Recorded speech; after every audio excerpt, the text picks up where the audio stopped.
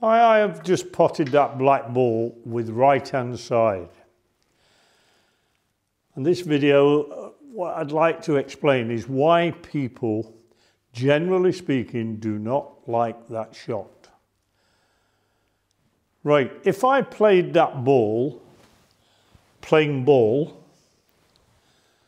by playing ball I mean using centre ball striking, yeah, there's a ten because of the angle of the shot, there's a tendency to squeeze that red towards the cushion. Okay, so I would, as a general rule, if I aimed to pot it, I would possibly hit this near jaw. So I have to be aware of that and possibly aim for the far jaw.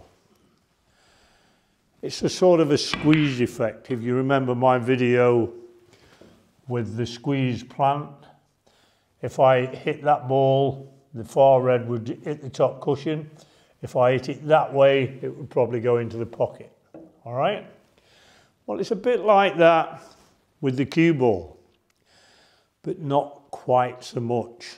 There'll still be the squeeze effect, but certainly not as much as if there was two balls there.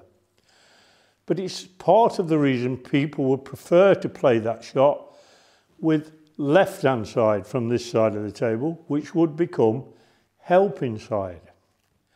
So what happens here, I play it with helping side from there.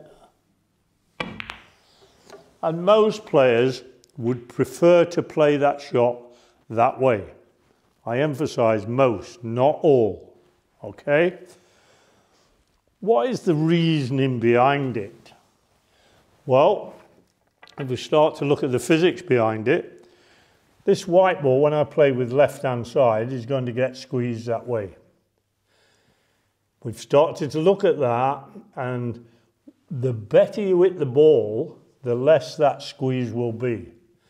So working on hitting the ball nicely will help anyway. Added to that now, these days, we've got the choice between a brass ferrule and a titanium ferrule.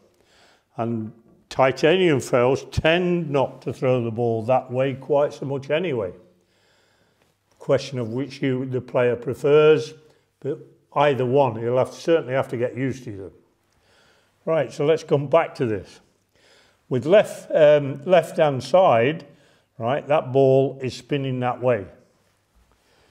Okay, it's spinning that way. So what tends to happen, I'm spinning into the body of the ball, the main body of the ball. All right, so the ball will get kicked that way, slightly, very slightly. So it tends to help the, the angle of the shot. What you're doing is aiming for the pocket and because of that side, it will go into the pocket. If I'd played it, played it plain ball, tendency is I'd hit this near jaw.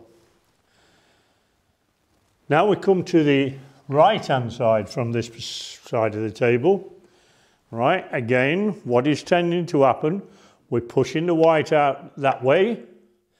Right, better again, we come back, the better you hit the ball, or the titanium ferrule may may just reduce that throw that way. But now the ball is spinning this way. And the theory is that that red would get kicked that way. But here's a slight anomaly. Remember, with the left-hand side, we're going into the body of the ball. With the right-hand side, we're going away from the body of the ball. So the kick is going to be marginally less.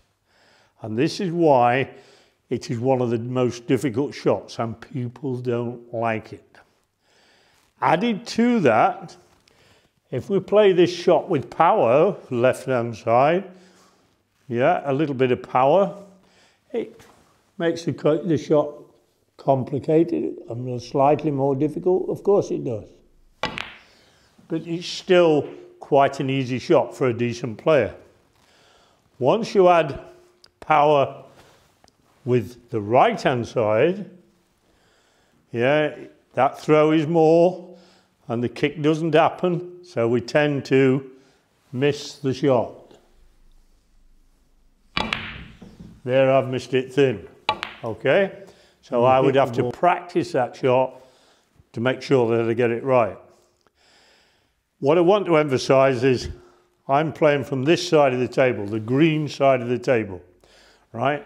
So left hand side is what we would call helping side.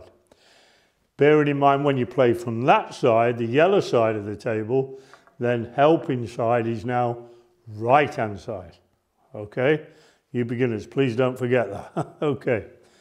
The physics behind it is tricky.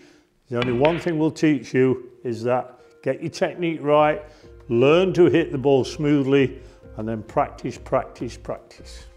Good luck with that practice.